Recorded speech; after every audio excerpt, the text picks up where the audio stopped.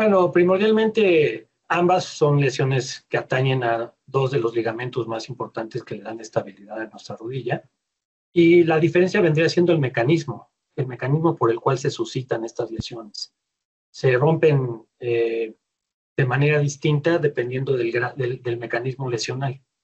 Esa vendría siendo la principal diferencia, porque por lo demás los dos son ligamentos y los dos se lesionan.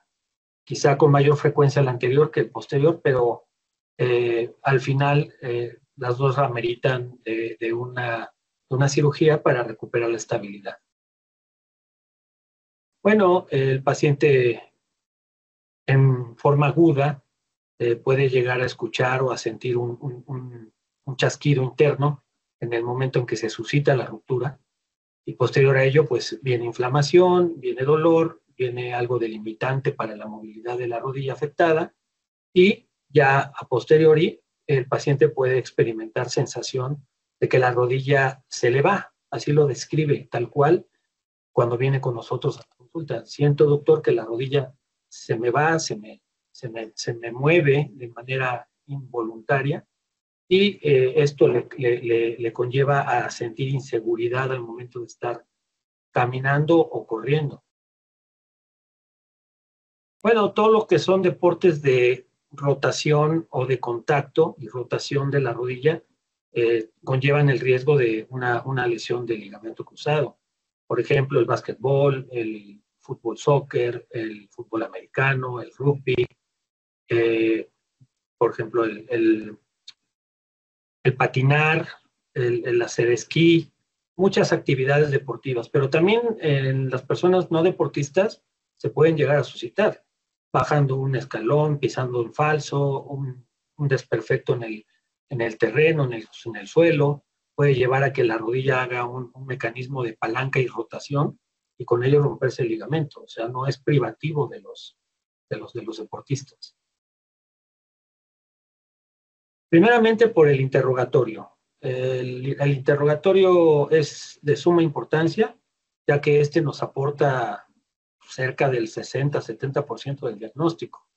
El cómo, cómo se lesionó, eh, en qué tipo de terreno se encontraba realizando la actividad cuando se lesionó, eh, si escuchó o no escuchó algún chasquido interior de su rodilla, eh, si hubo una persona o un tercero involucrado en el mecanismo, una palanca, una patada, etcétera. con base a ese, ese, ese antecedente, nosotros podemos ir haciendo ya proceso diagnóstico dentro de nuestra cabeza ya por lo demás, eh, la exploración física nos complementa en, una, gran proporción. Este, el diagnóstico mediante las maniobras específicas que se utilizan para llegar a este, a este diagnóstico. Y por último, el estudio de imagen, que el estándar de oro nos indica que es una resonancia magnética. Primordialmente es quirúrgico.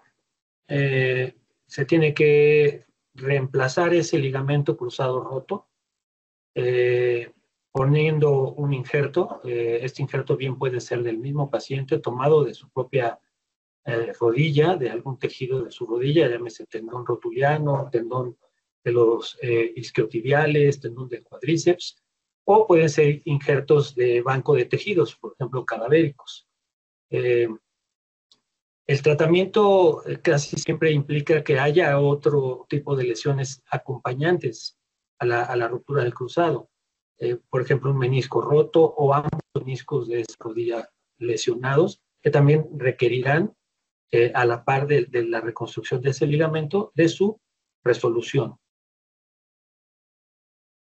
Ya eh, incluyendo el tiempo de la rehabilitación física, estamos eh, estimando un periodo de tiempo de entre unos 8 a 9 meses para el retorno a la actividad deportiva.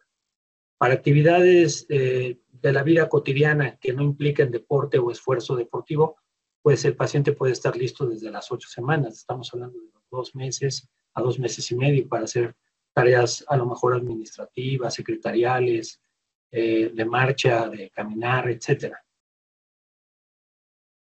Bueno, siempre tener eh, musculatura apta para cualquier actividad nos va a dar una protección. Es decir, el hacer ejercicio constante, el hacer ejercicio manera diaria, el fortalecer nuestros músculos, eh, nos ayuda a, prevenir lesiones, más no nos exime de tenerlas. Eh, obviamente quien practica un deporte eh, está aceptando los, los riesgos que conlleva esa práctica deportiva y que se puede derivar a una lesión. sin embargo, siempre va a estar mucho más propenso aquel que lo practique de manera irregular o que no se prepare adecuadamente.